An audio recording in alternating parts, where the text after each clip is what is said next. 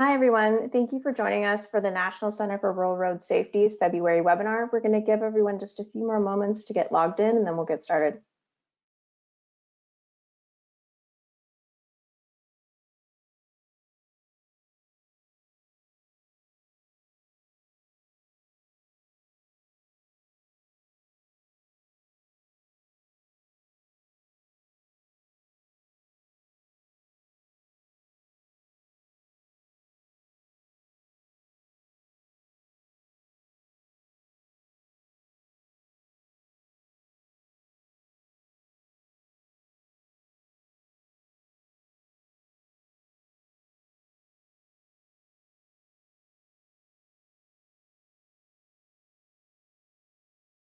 Thank you for joining us for the National Center for Rural Road Safety's February webinar entitled Road Ecology, Safety for Four-Legged Pedestrians.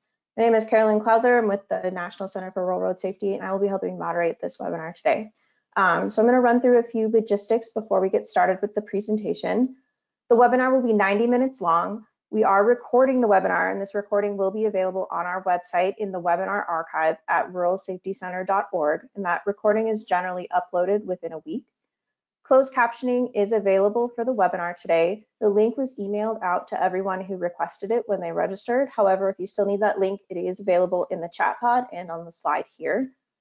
Um, we will be waiting until the end of the presentation today for questions. However, you can use that Q&A pod on the side of your screen to submit questions to the presenter at any time. You can also use that Q&A pod um, to let us know if you're having any technical difficulties during the webinar today.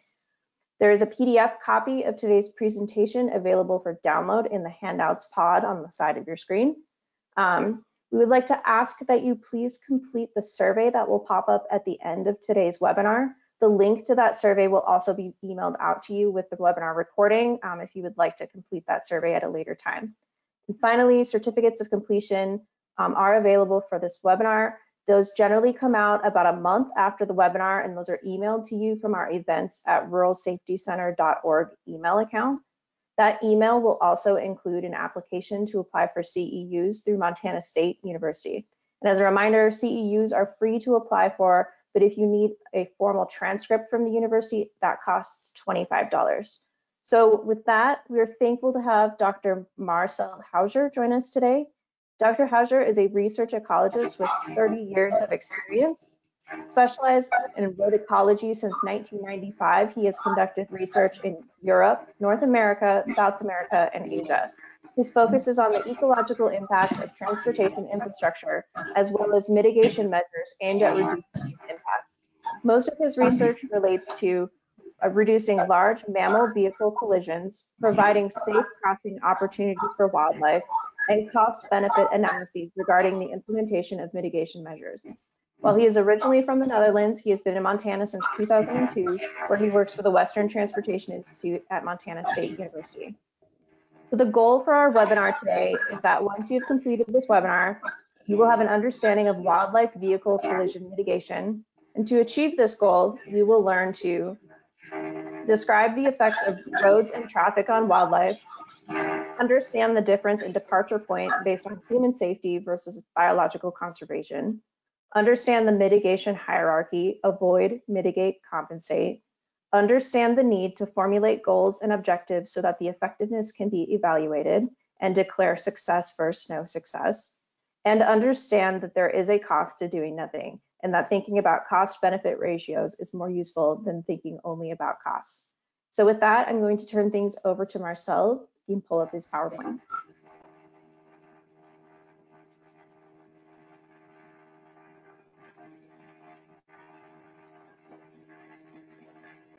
Thank you for the introduction. I'll uh, get the screen set up now. All right. Well, welcome.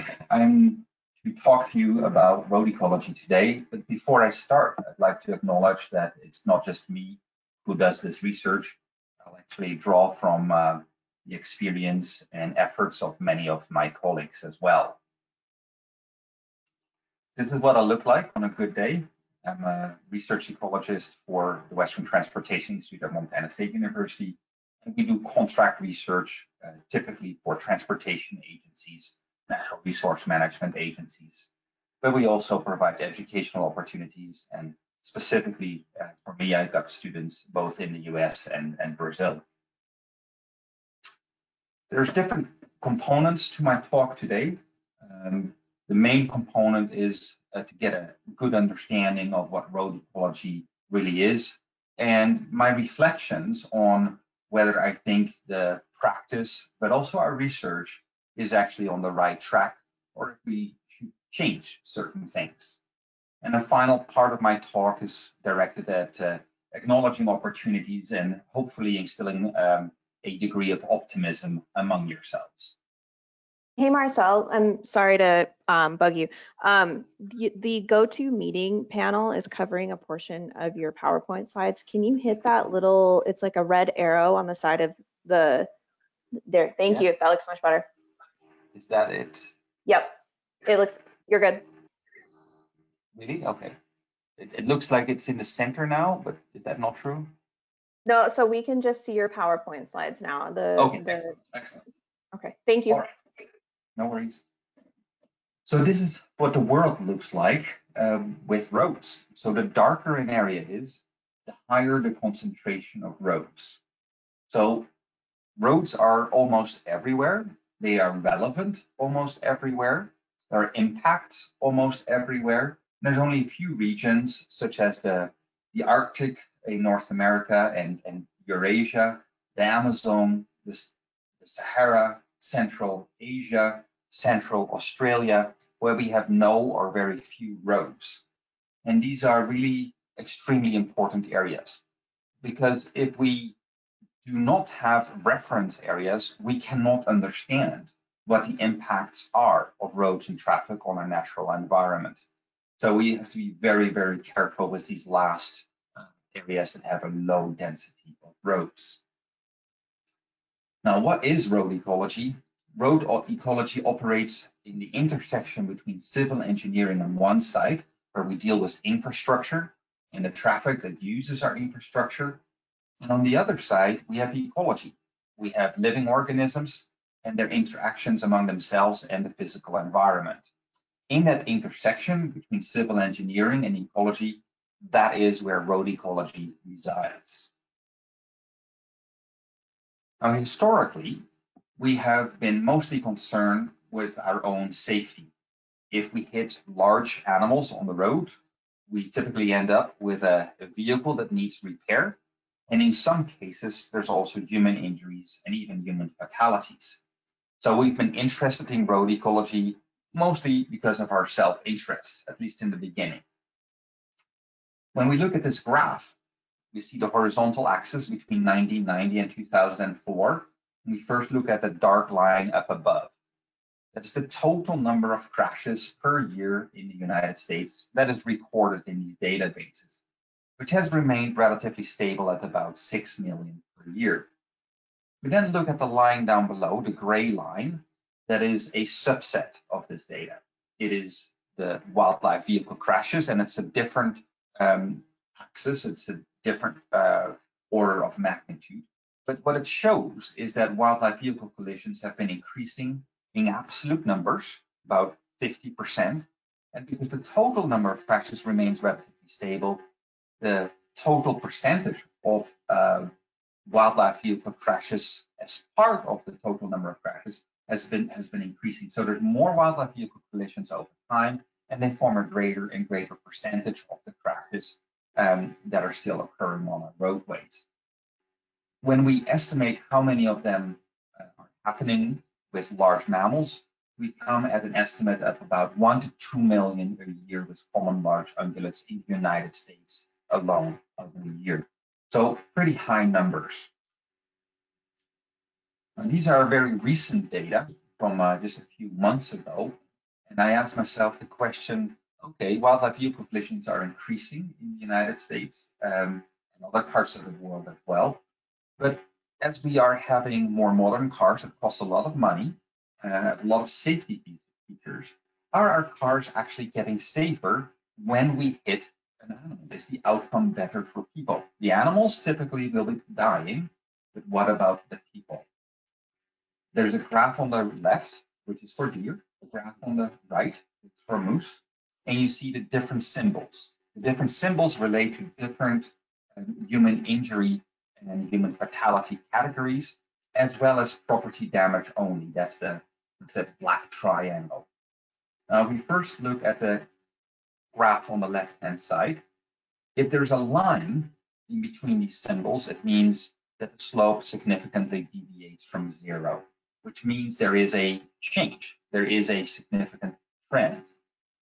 Now, if you look at that black triangles, you see that there's a positive slope. The right, the line goes up towards the right, which means the proportion of collisions we have with a deer that result in property damage only, actually there is a significant increase. Whereas with the open circles, we have non-capacitating injuries on a slight decline, as well as the black squares, incapacitating injuries, also a significant negative trend. So what we have here is we have a reduction in the proportion of collisions with deer that result in human injury, and we have an increase in the proportion of collisions with deer that result in property damage only. When we look at the graph for moose on the right-hand side, we basically see the same pattern. So the answer is, indeed, um, we see that the outcome of collisions for people is uh, less damaging as time progresses, presumably because our vehicles have been getting safer. Now, it is important to realize that there's a difference between statistically significant, which we have with these lines here, and um, and what are, is substantial or not. These changes are quite subtle. So even though these changes are significant, they're not necessarily substantial. Now the flip side is what does it mean for wildlife? We typically differentiate between five different types of effects. When we build a road, we take up space. This is no longer available for animals to live in, for plants to grow. This is loss of habitat. It's pretty obvious, but we typically forget about it. The second type of effect is well, we have dead animals because if animals cross the same surface that we drive on, we end up hitting a number of them, and most of the ones we hit actually die. Then we have the barrier effect. If we have a landscape without roads, animals roaming that landscape, there's a certain probability to end up at a certain distance away from their current location.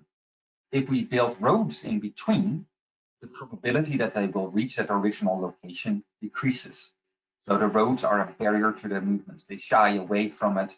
They don't even try to cross it. So the ones that don't try to cross cannot end up as roadkill. The fourth type of effect is a decreasing habitat quality. It can be all sorts of parameters, can be associated with human presence and disturbance, can be air, water, and soil pollutions. Um, it can be sound, noise. It radiates from this road any road into the surrounding area. Depending on the parameter that you're looking at, and depending on the species that you're evaluating for, this effect zone can be a few feet up to several miles wide. So that really puts it in perspective. It's not just the habitat that we take that is uh, not much to wildlife, but it is a, a, very wide zone depending on the species, depending on the parameter adjacent to the roads that is negatively impacted. The final impact is the edge, the zone between the edge of the pavement and the right-of-way fence.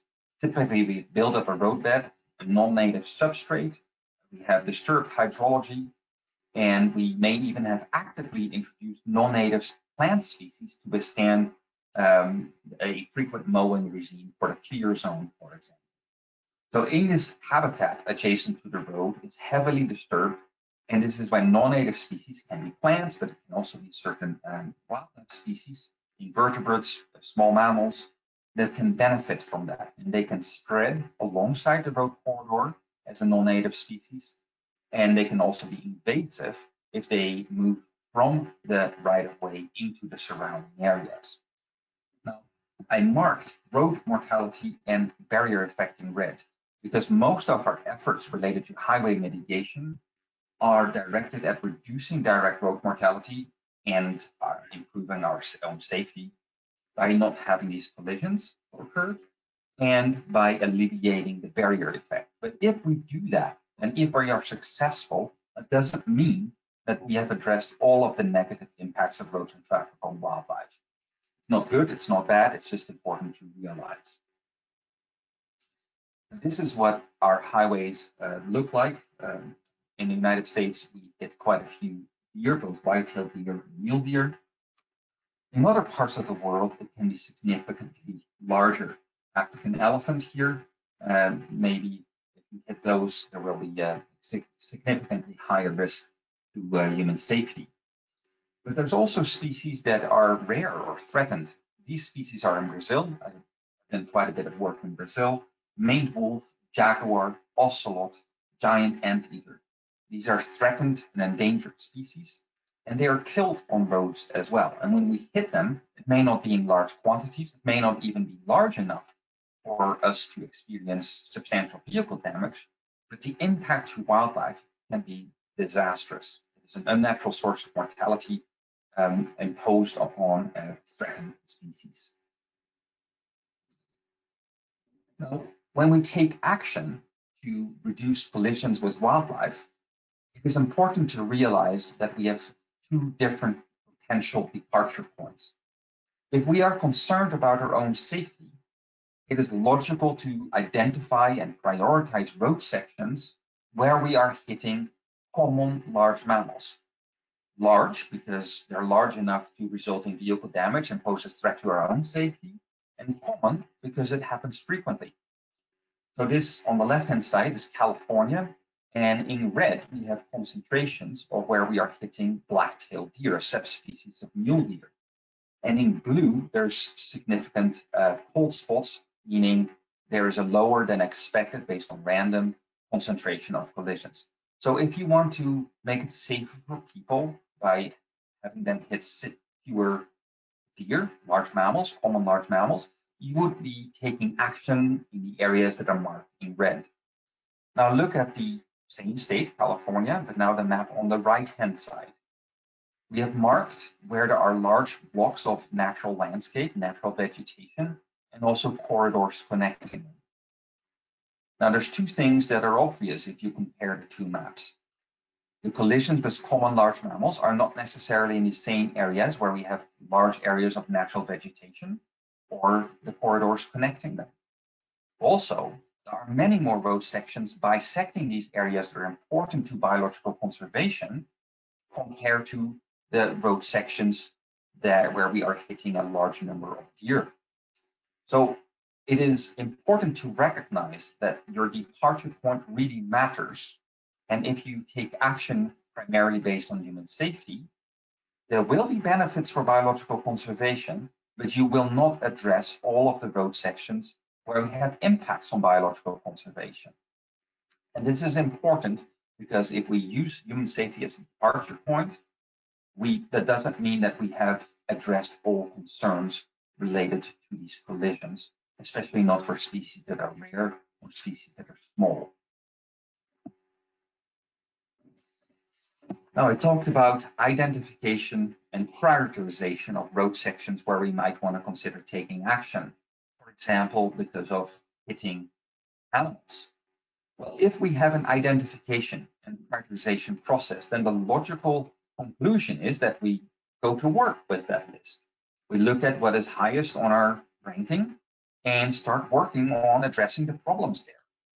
But that's not what typically happens. In reality, we say, okay, if we want to reduce collisions and maybe also provide connectivity for wildlife, well, it is kind of expensive to do it on a road section um, as a standalone mitigation measure. It is far less expensive, for example, to put in an underpass if you're ripping up the road um, for reconstruction already. So why don't we just look at road sections that we are reconstructing, and then we look at how high of a priority that is. And then maybe if it's not a very high priority, we decide to do nothing because it's not a high priority. And it means that for the next 40, 60 years, however long it takes for us to revisit that road section again with reconstruction, it means that we basically decided for half a century or more to do nothing there. It also means that the identification and prioritization process is really limited because we are not actually acting on our prioritization list. We are acting on other parameters. And in the end, we're not doing very much and we're missing opportunities. So this is a change that I think we need to consider. If we have an identification and prioritization process, we should act on that. Another change is, well, what do we do? I mentioned the word mitigation a number of times. Mitigation essentially means reducing, reducing impacts. We have a green blob here that is a hypothetical habitat of a hypothetical species and a road going through it. It is on the road surface and in the road effect zone that we have impacts. It is only there where we have impacts that we can reduce the impacts, right? So that is our mitigation. Our mitigation is limited to the road and the road effect zone. The point I want to make is that mitigation is not the first nor the only step we should be thinking about. The mitigation hierarchy is a three-step approach. It starts with avoidance. Do we need a road? Considering the impacts, including for biological conservation. Do we have alternatives, alternative modes of transportation? Do we have an alternative route? where we can avoid most severe impacts. It is really important to consider these things in the earliest planning phases onwards and to make it part of the purpose and need statement. If we do not do that, we can never avoid the most severe impacts. You're always stuck with mitigation. Now, it may be that there's still a need to mitigate. So it is not that you avoid or mitigate, you can have both. And there can even be a third step, and that is compensation or offsite mitigation, where you might consider enlarging existing habitat patches for a species, creating new habitat patches, and improving the connectivity between them.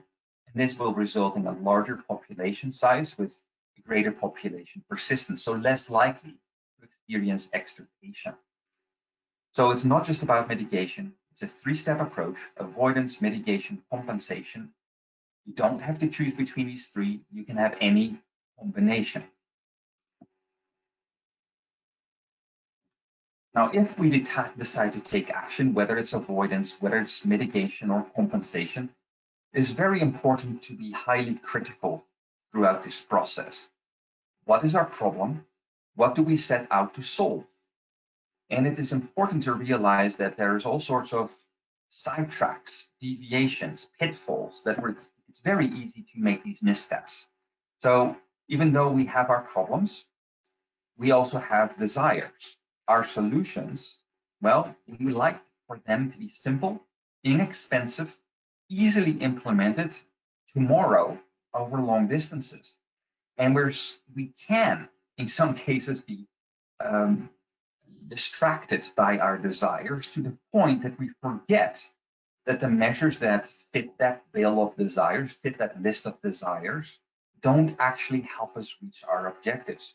On the other hand, the reality is that the mitigation measures or other types of measures that are likely to help us reach our objectives are actually complicated. They can be experienced as expensive. They're not necessarily easily implemented or fast, and certainly not everywhere, not tomorrow. And many people would label them as, well, that's not feasible, that's not realistic. But the main point I'm making here is that there needs to be consistency between our objectives and the proposed actions. If we propose actions that are predictably not having us meet our objectives, then we are silly. We're fooling ourselves, we're fooling everyone else they must be consistent. So either we lower the ambition level, we change our objectives, or we go back to the mitigation measures that we consider actually effective and helping us reach our objectives and say, well, maybe it is not unfeasible. Maybe it is realistic. Main point, be honest and have the objectives be consistent with the proposed actions.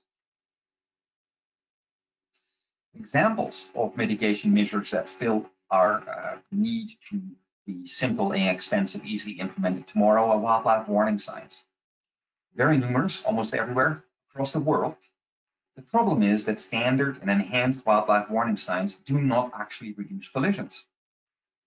So if our objective is to reduce collisions, then this is not a measure, and I do not understand why we have them. We have them for other reasons, perhaps for liability, which is also kind of silly, and I'll talk about it in the Q&A session, because if they're not effective, then how can you be considered um, not informing the public appropriately if you don't have these signs? It's silly. Um, it's only when signs become more specific in time and location. For example, with seasonal wildlife warning signs for seasonal migration sites, or ungulates, for example, in the West, or animal detection systems where you have technology that detects animals real time, on or near the road, and then activates warning signs and tells drivers there's an animal on or near the road right here, right now. Then we have evidence that it can be several dozens of percentage effective in reducing collisions and with animal detection systems, it's highly variable, but it can be almost 100%. Now, another set of mitigation measures that fits our desires is why don't we just reduce the posted speed limit? Surely, if we drive less fast, we had fewer animals. Well, speed management, maybe as many of you know, is actually quite complex. There's really three types of speed. First of all, we have the design speed. So if we decide how fast we want to travel from point A to point B, we go to work and design a road, certain lane width and shoulder width, curvature, sight distance. This goes into allowing us to drive a certain speed. The posted speed limit is typically a little bit lower than the design speed, and that is what we are allowed to drive legally. Operating speed is the speed we actually drive. Now, it turns out that when we have an operating speed, it is more consistent with the design speed of a road, what feels safe to drive, given the conditions, rather than what we are legally allowed to drive. This is important to bear in mind. So it is important to have the posted speed limit be quite close to the design speed. That is considered good practice. If we do not do that, if we substantially lower the posted speed limit below the design speed, some people will adhere to the legally posted speed limit that is very low and inconsistent with the design speed, but most of us will continue to drive at a high speed consistent with the design speed. So now we've got a mixture of slow and fast moving vehicles on the same road, irritated drivers between behind slow vehicles that may have irresponsible overtaking, head-on collisions. Now remember, we're trying to make it safer, right? But that's not what is happening if you have speed dispersion. We actually have an increase in crashes. So my main point is managing speed as a main tool to reduce collisions is not suited for our roads, not unless we also substantially reduce the design speed, which affects uh, the main purpose of a road, which is safe and efficient, fast transportation between A and B. We'll explore that a little bit more. So Indicated that our desires are strong. So even though we have all this knowledge, we still have a desire to try it because it must work. We want it to work. Well, here we participated in a study in Wyoming. Nighttime speed limit reduction was reduced from 70 to 55 miles an hour. We found that indeed people do reduce their speed, but only by three to five miles an hour, not the legally required 50 mile an hour speed limit reduction. More importantly, there was no significant change in collisions, predominantly with mule deer. So it's not effective. It, fits our list of desires, but it doesn't help us reach our objective.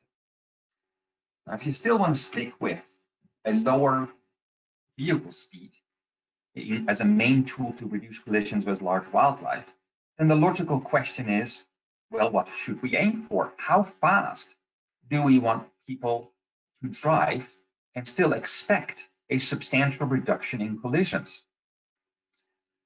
Well, it's a complicated graph, but I'll try to walk you through it.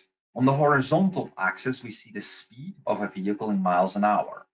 The vertical axis has the stopping or detection distance in meters. Now we first look at the horizontal lines. They relate to low beams in brown and high beams lights of vehicles in blue.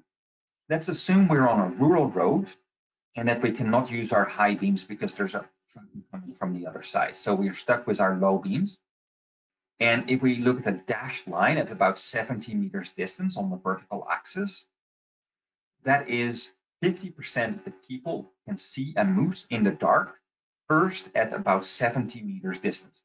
Half of the vehicles have headlights that are so poor that half of the drivers still do not see it, but they are actually at a closer distance to the moose when they first observe it. But let's go with that median. So 70 meters.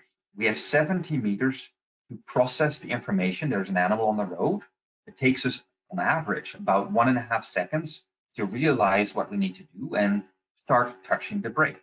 In that time, one and a half seconds, we have come closer to the animal and now there's reduced distance, smaller, shorter than the 70 meters to bring the vehicle to stop. Now we start braking. And of course, our original speed influences how long it takes for us to come to a stop. What it tells us that curved line is where it intersects the median beams is that we can only have a speed of 40 miles an hour for half of the people to avoid hitting the moose, assuming that we will not depart our lane, assuming that the moose does not leave the lane. Half of the people, though, will still hit the moose because they didn't see it early enough. So 40 miles an hour that is about half of the design speed of most of our rural highways. So that would result in substantial deviation between legal posted speed limit and the design speed of our highways. And it would affect the fast and efficient transportation or the safe and efficient transportation uh, main purpose of our rural highways. So my point is, we cannot expect speed management to be a effective tool that substantially reduces wildlife vehicle collisions on our rural highways.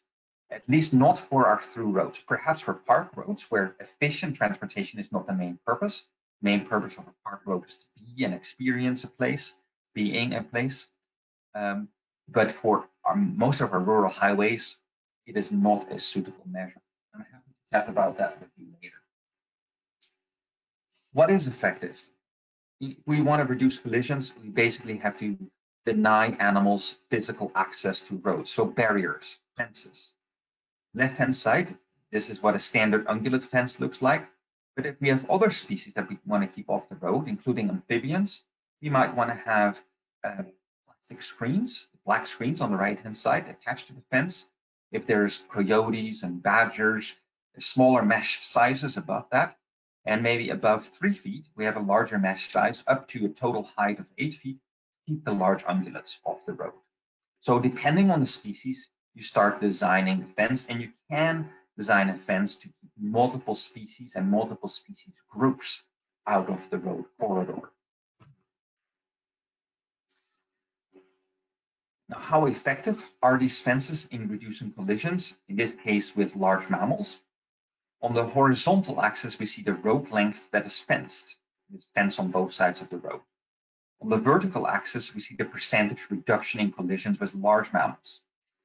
So we're almost always able to reduce collisions 80 to 100% if our road length that we fence is five kilometers or three miles at a minimum. Below that road length, below three miles or five kilometers, our average effectiveness drops from 80 to 100% to 50%. And it can be extremely variable as low as zero and as high as nearly 100% effective in reducing collisions. Now, this is because of fence end effects. This is where animals can get in between fences, and when they're hit, they're typically hit close to the fence ends.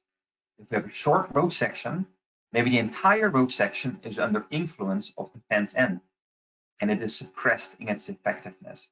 It's only when we make the fence road section longer that we dilute this fence end effect. It is still present, but if we dilute it, because we have a long distance that we now fence, the overall effectiveness of the road section that we treated with the fence is still high, 80 to 100%.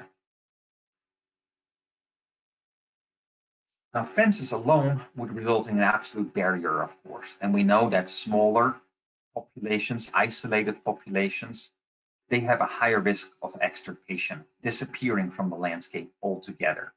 That is why it's important that we keep connectivity, that we allow animals to cross from one side of the road to the, to the other side of the road. There's no set standard or category system for different types and dimensions of crossing structures. But this is what my colleagues and I typically use, different types and dimensions of crossing structures. Now, these crossing structures are expensive. Depending on the dimensions, it may be tens of thousands, hundreds of thousands, or many millions of dollars per structure. So why don't we just have a gap in the fence at different locations and have some roadway lighting, maybe some calming measurements and speed limit reduction and you know maybe a traffic speed camera or or a police officer at all these locations. Um, I understand that that would be less expensive, but it doesn't alleviate the barrier effect. And this graph explains it. On the horizontal axis, we have increasing traffic volume. And on the vertical axis, the probability that elk that are wearing a GPS collar and it has come within a quarter mile of a road end up on the other side of the road. Let's first look at the black circles we see that at low traffic volume, left side of the graph, we have nearly 80% probability if an elk comes within a quarter mile of a road, it is 80% probability that it will end up on the other side with low traffic volume. But now we move further to the right, increase our traffic volume with those black circles, we see an exponential decrease in the probability that the elk will end up on the other side of the road. So basically, more vehicles means reduced probability that the elk will even try crossing the road. Now look at those black triangles up above. This is where we have fences and crossing structures. Essentially, the probability that elk will end up on the other side of the highway is not affected by our traffic volume. Remains 70, 80% probability, regardless of how many vehicles we have on this road. So my point is, yes, we need underpasses and overpasses, yes, we need to physically separate wildlife from traffic because if we don't, even though we allow a gap in the fence and we say, well, this is where they can cross, they don't. Uh, high traffic volume resulting in a barrier effect and animals not wanting to cross the road. Are these crossing structures actually being used? Uh, yes, these data come from um, Flathead Indian Reservation, Highway 93 in Montana uh, tens of thousands per year over five years, nearly 100,000 successful crossings through 29 structures of 20 uh, different wild, medium, and large mammal species, including uh, threatened or endangered species like grizzly bears. But this is just use, and it's not necessarily effectiveness, because in order to conclude whether we are effective or not, we have to have some sort of reference or goal, uh, objective. This is just numbers, and what is a high number to me might be a low number to you, and there's nothing really else to discuss. Let's illustrate that in the next few slides. But before we go there, um, we, we actually have a lot of knowledge collected over time about what type and dimension of crossing structure is suited for what species. In this table, each column represents a different type and dimension of crossing structure, ranging from overpasses to big bridges to smaller uh, pipes. And each line represents a different species. And when a cell has a black dot in it, it means that we consider that type and dimension of crossing structure suited for that species. An open circle means, well, it's not ideal, it's marginal, but some of them will use it. And we have a cross, it means don't even try that. Uh, that is ridiculous. Uh, it's completely unsuited for that species. So that means that we have quite a bit of knowledge. If you know for what species we need to provide connectivity for, we can generally provide you with advice on what type and dimension of crossing structure is associated with that. When we start measuring wildlife use in crossing structures, we find that crossing structures are used more readily in higher numbers by animals over time. There's a learning curve. On the horizontal axis, we see the age of the crossing structures, and on the vertical axis, the number of year crossings in thousands on the left, and black bear crossings in hundreds on the right. So when we start off, we've built a crossing structure, and in first year, over 29 structures combined, we had over 4,000 successful crossings by white-tailed deer and mule deer, and a few hundred crossings by black bear. But in the second year, the second year after construction, the numbers were higher. And in almost every year, every year that the structure gets older, the absolute use increases. And especially for deer, you start seeing that learning curve. After five years, we haven't reached an asymptote yet, but perhaps after seven or eight years, if we project that line out, we would reach an asymptote where we no longer have an increasing absolute crossings per year. Now, why is this relevant? It means that we have to be patient when we have crossing structures perform and deliver on connectivity.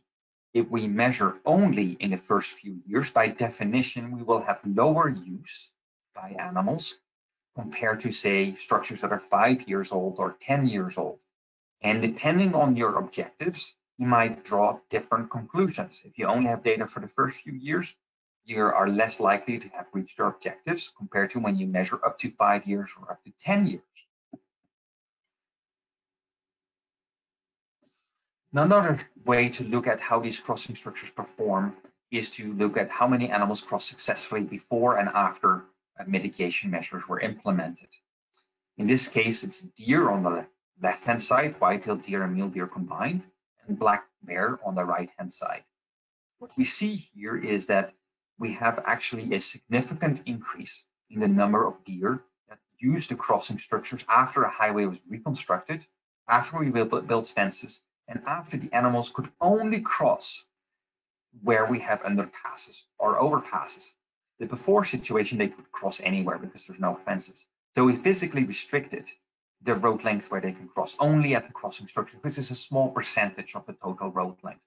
And even though it's smaller, that percentage that's permeable to any animals, we still see almost a doubling of the number of successful crossings. You see the same pattern for black bear on the right hand side, but presumably because the absolute numbers are in the hundreds rather than the thousands, and we always have some variability in the data, it's not quite significant. Now, of course, this is dependent on how many crossing structures you build, whether they're suited in type and dimensions for the target species. But my main point is that you can actually increase connectivity compared to an unmitigated highway.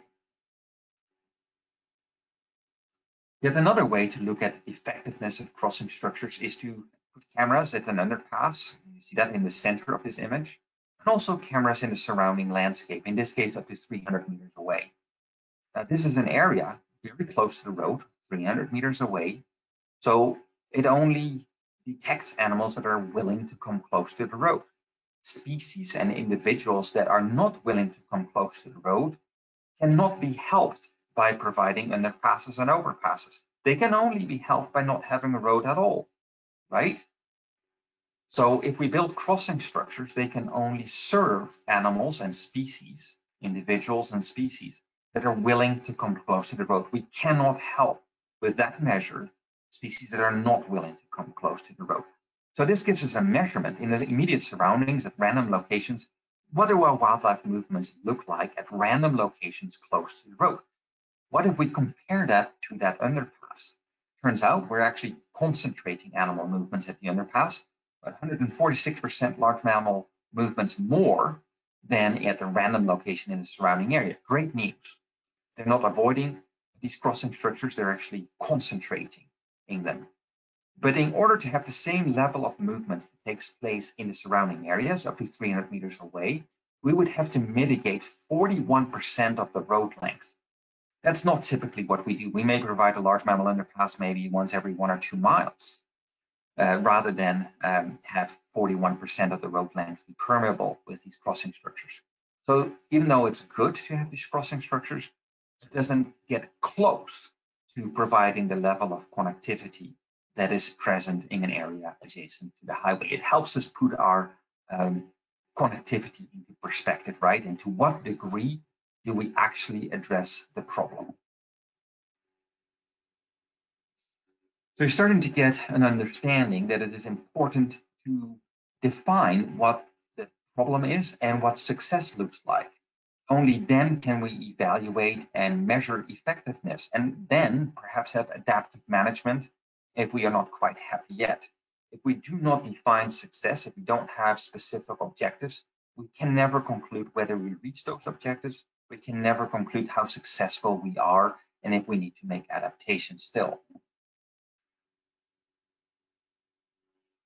Also, when we sit at a table with different stakeholders, we often think or assume that we all have the same definition of success. We all assume we have the same ambition levels, but that's not necessarily true at all. There may be stakeholders that are legally required to build a crossing structure, and their success parameter is getting it built, regardless of whether that crossing structure is actually in the right location, has the right type, dimensions, for the target species, and whether the target species will actually use them to the level that is necessary to address our objective. Others might want to see substantial wildlife use, others might want to see viable wildlife populations that are sufficiently connected. We have a larger connected population with a reduced level of extirpation and disappearing from the landscape. Others may say it's not about individual species, it's about whole ecosystems. Others may say it's also about ecological integrity. Got migrating ungulates in our landscape over hundreds of miles. Regardless of population viability, we want to keep that migration. It's an integral component of, of, of our ecosystem. So we have to provide for these migration routes across our infrastructure. And others might be focused on climate change. So it's important to have agreement with your stakeholders. What is the parameter of success? What is our ambition level? And it's not just about building these structures. Here we have a, the upper row related to underpasses, the lower row related to overpasses. On the left-hand side, we see structures that do not have any cover, do not have any natural vegetation or soil. In the middle, we see some habitat provided, some soil, some vegetation. And on the right-hand side, big viaduct and also an overpass in Argentina, um, where we see that well, even if you're a large mammal, you might not even realize you're going under or over a road. Now, this is important, especially for the smaller species. I have an image of a salamander on the upper right. A salamander may take up to a few weeks to get across a motorway through a underpass or overpass. So this is in opposite of you know contrast to a large mammal where it may take 30 seconds. So a salamander needs everything it needs to live on and in the crossing structure. It needs full habitat, it needs cover, it needs food, it needs water. If we don't provide that, then by definition, these small species that have small movement capabilities and don't move much at night, maybe 10 meters at the most, they will never benefit from what we think we have provided. Now let me take you um, to the frontiers of road ecology. You may think that we know a lot, and that's true. We do know a lot, but we don't know enough. And there's some basic things that we don't know much about at all. One of those things is wildlife jump outs. Wildlife jump outs basically allow animals that are caught in between the fences in the road corridor to escape. These jump outs allow animals to walk up to more or less the height of fence and then jump down to the safe side. Now, the height should be low enough that they readily do that. It should be high enough for animals not to jump the other way because we don't want animals to end up in between the fences there. Now, there's this road section in Montana where we actually measured um, and put cameras on these wildlife jump outs. What we found is that 32% of the mule deer that showed up on top jumped down, which meant two out of three deer that showed up on top did not jump down, and they may have used another jump out at a later time, escape at the fence end or another gap in the fence, or they were hit by traffic. For white-tailed deer, it was even more dismal. Only 7% made use of these cross uh, these jump outs. So this is too low, I think, and I think almost everyone would agree on that because the longer an animal is in between the fence road, road corridor, uh, that, the, the longer the risk is there for a collision, both for uh, human safety and the animal's um, animal's health. What we did in this case, helped by uh, MDT, their personnel, their equipment, we lowered the number of these jump outs to five feet exactly. Then we put a bar on top of the jump out, and I'll show images in a moment. And we did this in an area with mule deer and also in an area with whitetail. This is the prototype of the bar. So the bar basically plays with the perspective of the animals. The idea is that animals that are on top can step over this bar as a setback with a prototype of four inches and can take advantage of a low jump out height of five feet. Whereas animals wanting to jump in, which is not a desire, that's not what we want, they don't have enough space to land in front of that bar, they would have to clear that bar. So effectively the height is five feet plus the height of the bar, which is 18 inches, so six and a half feet. what we found is that, well, animal mule deer jumps over, but it really, it doesn't put its feet on the other side of the bar. Effectively, it jumps down from six and a half feet rather than five feet. So that's not exactly what we wanted. we eventually set on using rebar, which has to be pounded into the soil. And because there's these big cinder blocks that make up the walls, we had a setback of 12 inches, which was quite fortunate. We're still at a height of 18 inches.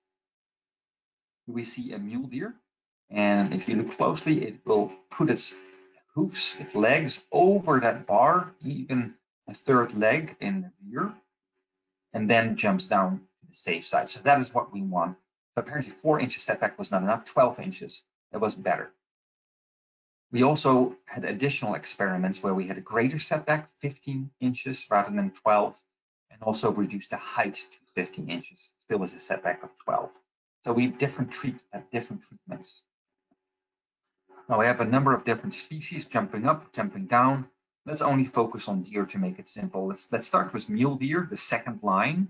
And we see that 64% jump down. That's regardless of the treatment, regardless of how high the bar was or what the setback was, we basically doubled the effectiveness from 32% to 64%. But for white-tailed deer, it was 7%, now it's 5.5%. Essentially, there's no difference. So our treatments overall made it much more suited for mule deer, but we basically did not make any improvement for white-tailed deer. This is what the different treatments look like for white-tailed deer. I use on the vertical axis the percentage of the animals that shows up on top and that ends up jumping down, which is very, very low. So this is not good enough. We need to have additional treatments. It might be different height, different setback, might also be a different height of the of the mount, the wall, um, as a starting. For mule deer, overall it's 64% but there's one treatment where we actually reach 80%. So four out of five mule deer that are on top are successfully jumping down now. So I think this is great, and we have a good indication of what our jump out should look like to make them more suited for mule. There's also animals jumping up, clearing that bar. This is not what we want, but it's really about that balance. It is about maximizing or minimizing the number of deer that are staying inside the right of way. So if there's still more deer jumping out than jumping in, then there's still a benefit. So what did we find at this frontier of road ecology? Uh, we know that it was dismal, the performance of, of jump outs, the way they were constructed. We were able to improve, but substantially double the effectiveness from mule deer. But we need additional experiments for white-tailed deer there's an opportunity for you and your agency, perhaps. You want to contribute. Uh, we are at the end of our project and we would like to continue to find uh, opportunities to make it better for white-tailed deer, the most common large ungulate in North America, certainly a species when we want to get out of the fence right of way as soon as possible. Second frontier is wildlife guards, cattle guards, modified wildlife guards. What we see in this graph on the left-hand side, ungulates in red, mule deer, white-tailed deer, and on the vertical axis, permeability, low permeability. So these wildlife guards are great. They have a low permeability. Very few mule deer and white-tailed deer walk across them and enter the fenced road corridor. Great. But now look at the species with paws, the left, the right-hand side of the graph. Black bears, coyotes, mountain lions, high permeability. These animals can just walk over these wildlife guards, just like we do. So this is not what we want and we need a different solution. Electrified barriers are really where it is at. Um, on the depending on the traffic speed and traffic volume that you have, you can have electrified barriers embedded in the road corridor. Uh, high volume, high speed, you might have a hundred thousand or more dollars per location. But what about low and medium traffic volume and speed? In a multifunctional landscape, we have many access points and I circled them here in red. There's many access points for agricultural fields, dispersed houses. Now imagine having a few hundred thousand dollars per location. It's not going to happen, is it? So what we're trying is lower cost solutions for electrified barriers to address low volume, low speed locations. In this case, we set out on a melon farm, and I'll explain how it relates to transportation. These melons were a huge attractant to black bears, and there was quite a bit of loss. There were seven black bears at one time, the same time, eating melons in the field.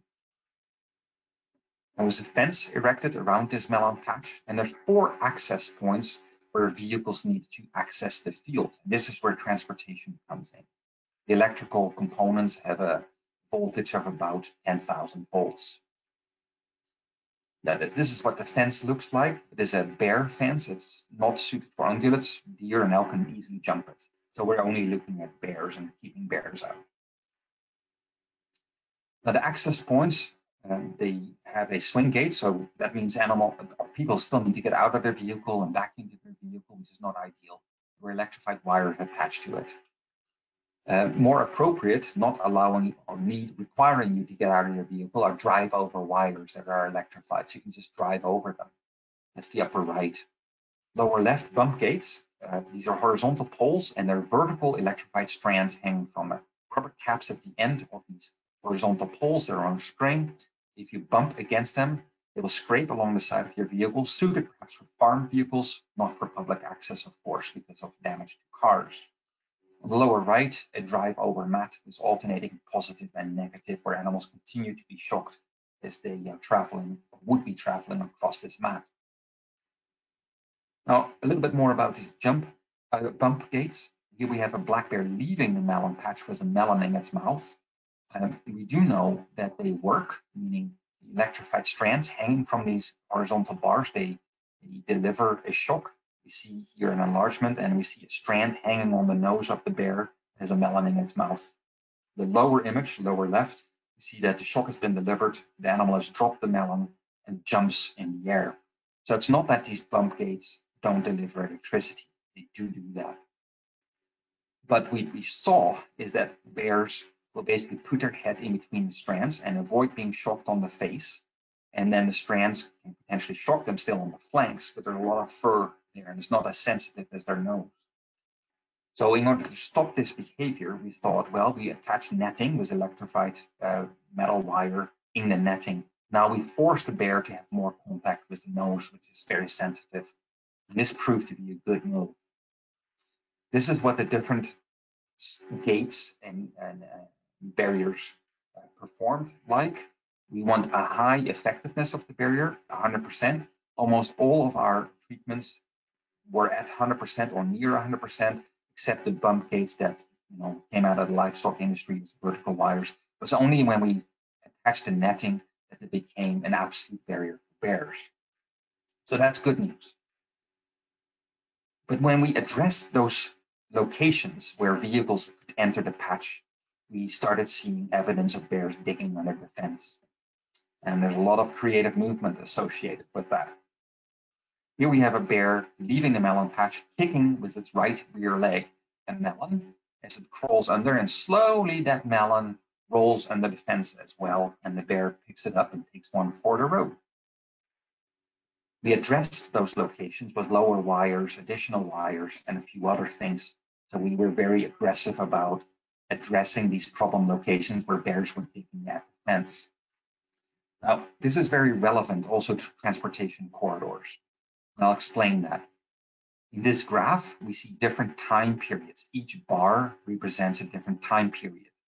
When we switch to a different time period, the second bar, we have changed something to one of the gates or the fence. So what we see here on the left-hand side, the first bar, uh, we start out with having a total of almost three intrusions per day by these black bears into the melon patch. And it happens mostly at a fenced location, but also at access point number four. Then we make a change. We get to the second bar, and really, there's no change in what the bears do. We're not successful. They still enter at about three animals a day, and at the same locations. Then we make another change. Now we see that access point number four, that light gray, has disappeared. So that gate is now effectively a barrier, but the bears have increased the pressure on two fence locations, and the absolute number of bears per day is now over four.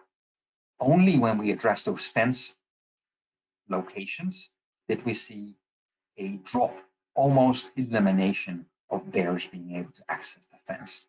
Now, what does this tell us? It tells us that it is a system and a roadway with fences and access points for vehicles and fence ends and underpasses and overpasses. It is a system as well. And it's only as good as its weakest component. Therefore, it's important to critically monitor performance and have adaptive management in place. Now, it really affects animal behavior.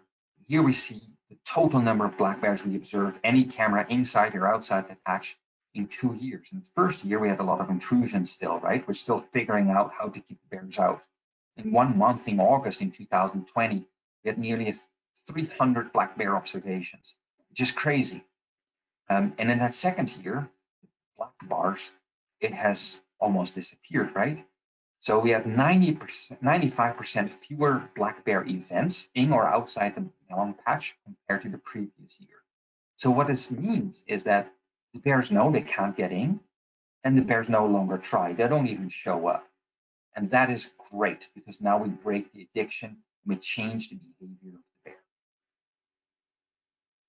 Now, unfortunately, the last year, Armour took it over and everything fell apart.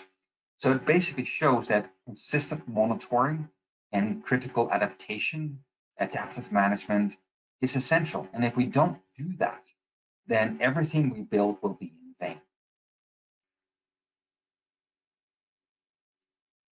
Now we have proceeded since then by bringing these electrified barriers to a highway and access points along a highway that are accessible to the public.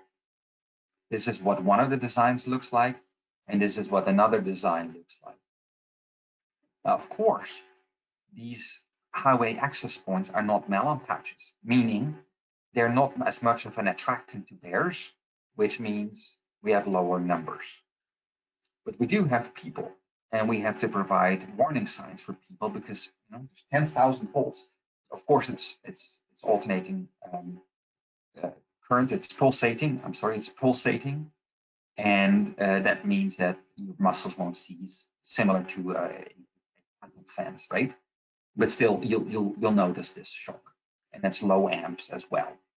That makes it relatively safe, though very unpleasant. Now, if you have bare feet, if you don't have insulated soles, or if you're riding a horse, you definitely want to press this button. It turns off the electricity for one minute and it automatically turns back on again. I mentioned we don't have a lot of bears, so we have a small sample size and we run out or close to running out of time on our project. Again, it's something that you can contribute to if you want to and contact me if you're interested. Now back to some other changes that I think are needed. When we have a road project and consider mitigation measures along this road, we are typically confined to a line in the landscape. A traditional road project is a line in the landscape, but ecological phenomena take place in the landscape. So this is a conflict. Uh, we have a, a project level that is a line in the landscape with a problem and a solution that is landscape based. How do we deal with that? Well, it is really a matter of regulations and also culture and perhaps changing culture. Others have done it. Now, this comes from the Netherlands, where already at the end of the 1980s, the Ministry of Nature Management identified large tracts of natural vegetation, nature areas, and corridors connecting them. Then in the 1990s, they basically plotted, well, where do these this road uh, this road network and railroad network intersect with the nature network? These are our problem locations. And even though mitigation measures were implemented already in 1970s and 80s and in 90s, really from the early 2000s onward, there was a high degree of coordination, national government, provincial government, local government, and in a very organized fashion and in a local, uh, logical uh, pattern, addressing all of these problem locations. So it, it is not a physical impossibility. It is a bureaucratic problem that uh, if, if we keep working on a project level that is treated like a line in the landscape, others have been able to do this on a landscape level, even at a national level. Now, what do these crossing structures look like? In this case, it's all overpasses. Upper left, root wads leading up to an overpass suited for large mammals, but also the root wads provide microhabitat, shelter um, for small animal species, invertebrates, amphibians, reptiles, small mammals. For right, we see a berm on an overpass over a motorway, reducing sound and, and light disturbance onto the center of the overpass. Lower left, we see an overpass in a flat landscape. Rather than asking the animals to walk up a slope and they can't see to the other side, what was decided here is to gradually lower the road over a distance of hundreds of yards and allow the animals to not change um, the or, or, not to walk on any slope. They can clearly see across the landscape. It's a flat landscape. And therefore, the approaches of an overpass should also be flat. And the same is true for an underpass. Lower right, we see a large overpass. This is actually across a two-lane road, a two-lane railroad, a railroad yard, and a field hockey complex, half a mile long in total, uh, 50 meters wide at a minimum. And it's combined with a non-motorized trail, meaning a non-motorized recreation on this trail combined with wildlife use. So we talked a lot about human safety. We talked about biological conservation, but many of them of us will say, well, what about the cost? And isn't it too costly? Or maybe some of you are convinced that it is crazy to spend any money on these types of measures. My argument is, well, it's not about absolute cost. It's always about, well, you pay something, but what do you get in return? And really, is there no cost to doing nothing? Isn't that a falsehood? So in 2009, we had a paper published that examined this. Really about the balance of costs versus benefits, costs of mitigation measures and benefits in this case of reducing collisions. So we estimated for deer, elk, and moose, the most commonly hit large ungulates in North America, what does it cost to repair your car after you hit one? It's a bigger animal, there's more damage, more vehicle repair costs. Occasionally, there'll be human injuries and human fatalities. It's a small percentage, but when it happens, a high dollar amount. We don't know which collision results in human injury, human fatality. Therefore, we allocate a, portion of those high dollar amounts to each deer and each elk and each moose vehicle collision. And of course, the larger the animal is, the higher the probability that there will be human injuries and human fatalities. And that's why the dollar values increase with the size of the animal. And in total, now we have $6,600 for an average deer view collision, and with larger animals, it gets into tens of thousands of dollars. These are the dollar values that we can potentially save when we have fewer collisions. We also reviewed, well, what do these mitigation measures cost? Then we conducted the cost benefit analysis over a 75 year long time period. If you build mitigation measures, especially overpasses concrete structures, most of the costs are in year one, but the benefits are obtained over the entirety of their lifespan, and their lifespan is 75 years or so. We also recognize that we have discount rates, meaning a dollar amount that you spend today, a dollar you spend today on mitigation, that dollar is worth more than a dollar that you would earn back tomorrow because of a condition that didn't happen. Then we brought it back to real roads. This is a road section in Montana. The horizontal axis, we see the miles. This is the road. mile marker zero until mile marker 45 or so. And on the vertical axis, we see dollar amounts per kilometer per year. Let's first look at the jagged line. This is based on real carcass data, large mammals that were collected along this real road. And then we calculated, well, what's the cost per kilometer per year associated with all these carcasses? And that's the jagged line. And especially in the first 50 miles or so, the costs are pretty high. We're hitting a, a large number of large mammals. Horizontal lines are thresholds for different types and combinations of mitigation measures. Now, wherever the jagged line meets or exceeds the horizontal lines, we're actually experiencing more costs in terms of collisions than we would have had in costs associated with mitigation. Now, this is really interesting because it really changes the discussion from, well, this costs too much money and it's just a statement and an opinion, to the realization that it actually costs money to do nothing and it can be less costly to society to implement effective mitigation measures compared to not taking any action. Now, it was published in 2009 in 2007 dollars, and just a few months ago, we had an update of this analysis. We found that, for example, for deer, the total cost is now 14,000 rather than 6,600 based on human injury, human fatality, and vehicle repair costs. So a substantial increase in cost and therefore savings if we can reduce collisions. We also expanded the model with passive use values, and that basically is a parameter related to biological conservation, recognizing that there's a value for the animals as well. What are people willing to pay to not have the animals die? What are people willing to pay to not have animals disappear from a region? Now, this $5,000 for a common white-tailed deer, and then you know, basically a quarter of the total amount, $19,000. Now look at the fifth column, grizzly bear. In size and weight, on average, they are similar to deer. So we have $14,000 in cost associated with vehicle repair, human injury, human fatality. But it, it's a threatened and endangered species, extremely charismatic. A lot of money has been spent on trying to recover this species from the brink of extirpation in the lower 48, over $4 million per individual. Basically, we know this intuitively, hitting a grizzly bear is much worse for biological conservation than hitting a white-tailed deer. You know, ethically, we're still killing animals, of course, but there's far fewer grizzly bears, and we really can't afford to hit this rare species. Every individual matters, and unnatural mortality should really be avoided. Now, this is really interesting. We'll explore that a little bit more.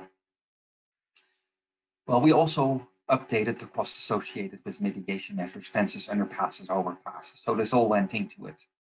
Then we conducted these cost benefit analysis. We calculated thresholds and each column, um, let's let's look at uh, where that upper red circle is. We have a fence, we have an underpass once every two kilometers and jump outs we have a value of 1.5 in that red circle there.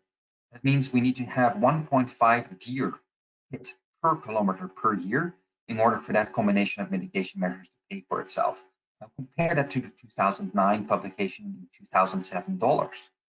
We basically find that we now have a threshold that is half that, meaning we now realize with the update and expansion of the model that we should have, could have justified implementing mitigation measures much sooner along many more sections of roadway.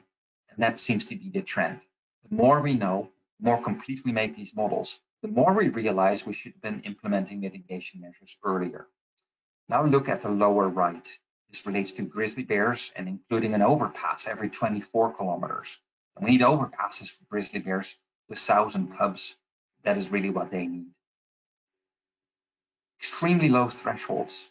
That means that you only need to hit a few grizzly bears per kilometer per year, or a fraction actually, for these combinations of mitigation measures to pay for themselves.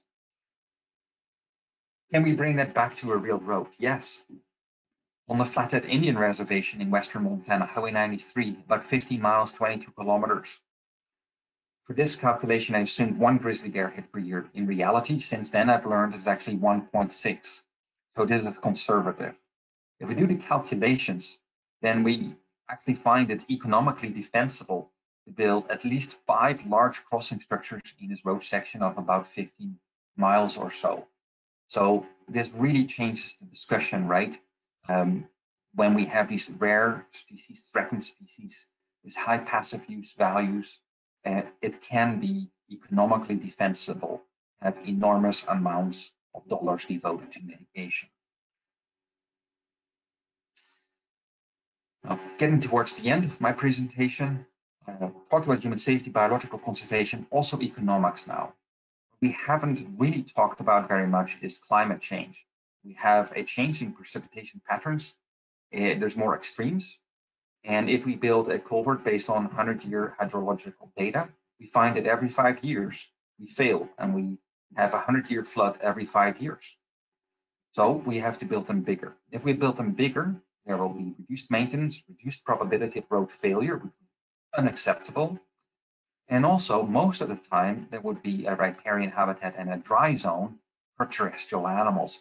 So it's good practice, I think, to make these crossing structures at creeks and rivers much bigger than you think you need based on historical data, because the historical data are no longer accurate. The lower right, recreation and physical and mental health. I hinted that that was one overpass from the Netherlands where there was this trail for non-motorized recreation. We know we need this. We also need access to nature for physical and mental health. We experienced that over the last few years with COVID. Um, so what if wildlife interest, biological conservation interest are combined with our recreational needs and the need to have physical and mental health? What if we combine forces? maybe by not only focusing on wildlife, but also embracing recreation, we can build five structures in an area rather than just one, and in the end, be more effective. Now, this is not necessarily suited for all species. Species that are dangerous to people or species that are extremely sensitive to human disturbance, they would still need their own structures without people. But in landscapes maybe close to cities, suburban areas, we have species that are adapted to human presence and disturbance in the landscape already. Now, final consideration, I hope I um, illustrated that road ecology is not rocket science. Road ecology science is road ecology science.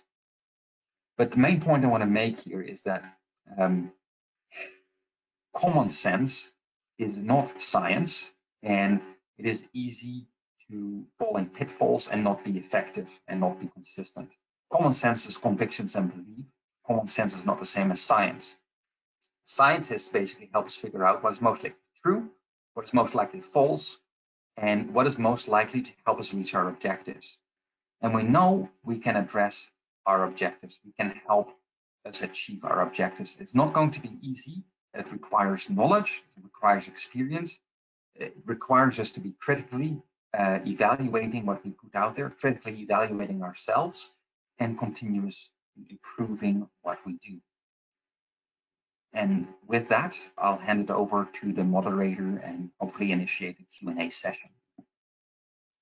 Thanks, Marcel. The presentation was really interesting. Um, we have had a few questions come in. We probably have time for just one or two.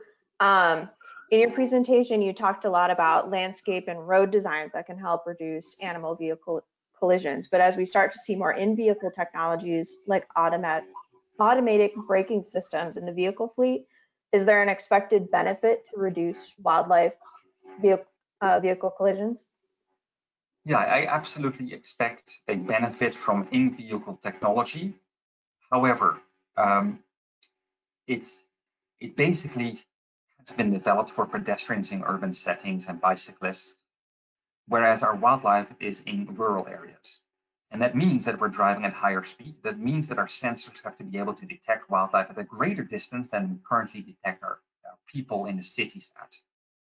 Because we're traveling at much higher speed, right? We need more distance in order to avoid a collision.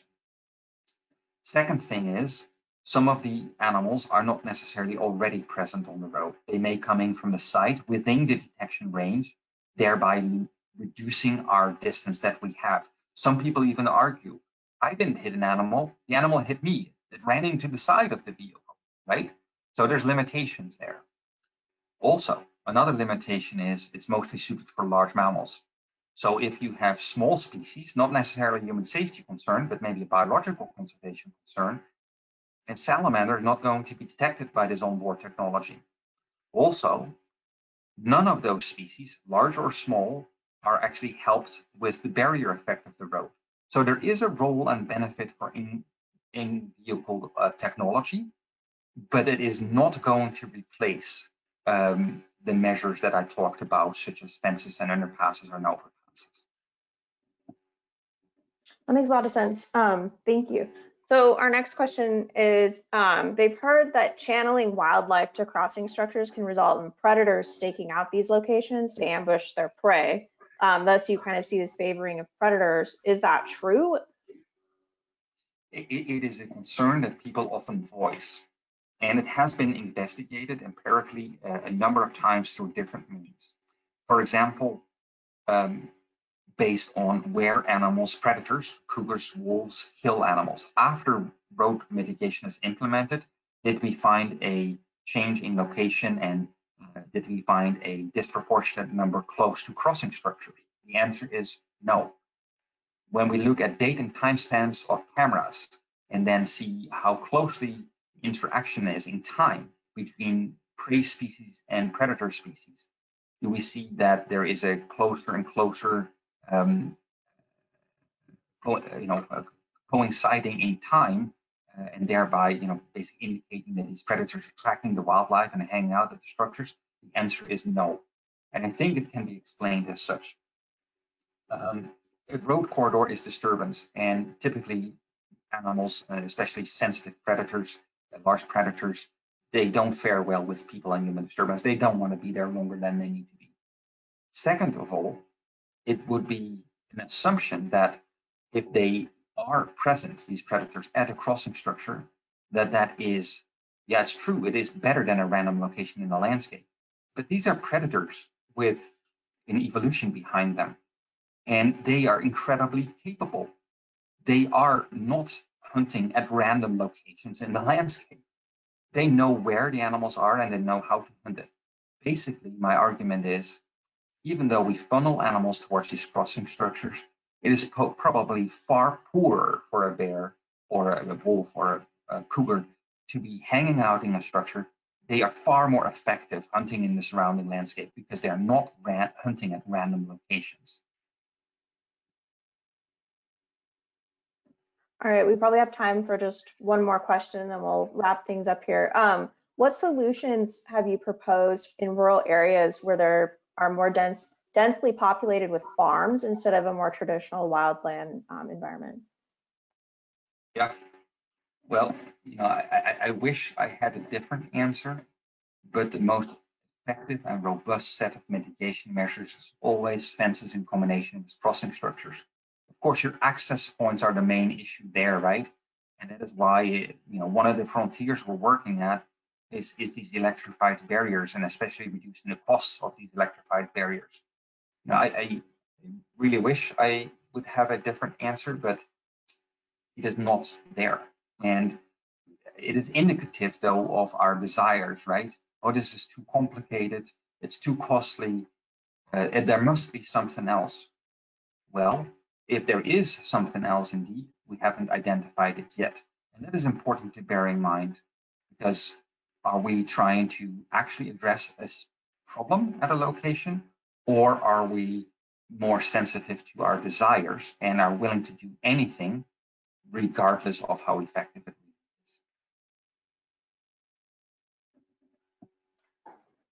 Thank you, Marcel. Um, we do have a few questions remaining, so I will loop back with you afterwards to see if we can provide some response to folks. Um, I am going to run through a few slides here to wrap up the webinar today. Um, we did want to announce a couple of upcoming events so that you could save the date. The first is um, Rural Road Safety Awareness Week will be held July 17th through the 21st.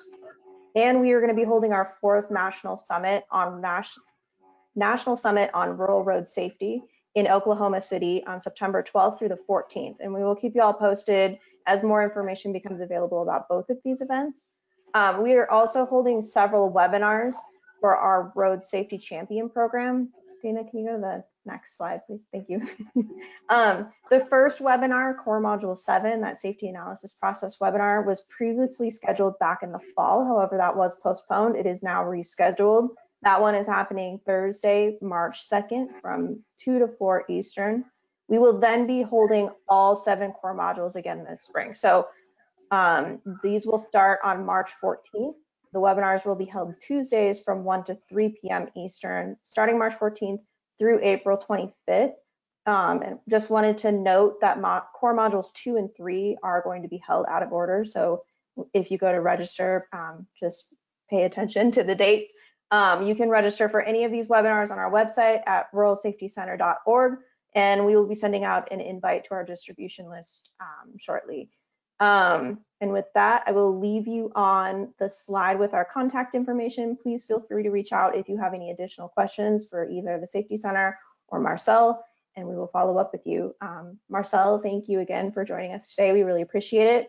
Um, have a great rest of your day, everyone.